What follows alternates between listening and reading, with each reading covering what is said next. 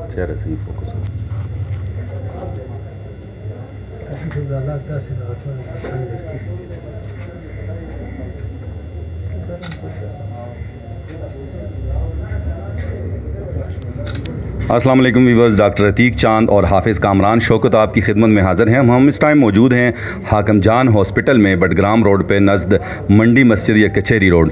तो ये एक बच्चा, अगर कामरान इसको दिखाइएगा आप। ये बच्चा इनको यहाँ किसी कोई गाड़ी वाला इस बच्चे को छोड़ गया है और गाड़ी वाले को भी रास्ते में मंचौरा के करीब ये बच्चा मिला है और ये ज़ख्मी है, इसके सर में भी यहाँ चोट है और बच्चा बिल्कुल कौमे की हालत में है। बिल्कुल बात बात इसने नहीं की। तो आप प्लीज़ ज़्यादा से ज़्यादा इस वीडियो को शेयर कीजिएगा ताकि इसके लवाहिकीन जो हैं, इसके वसा जो हैं, वो इस बच्चे तक पहुँच जाएँ। तो तलाश वारिस की ये वीडियो है, इसको ज़रूर सिर्फ़ शेयर कीजिएगा, पता नहीं किसका ये मासूम बच्चा है, तकरीबन लगभग इसकी उम्र बारह तेरह साल होगी।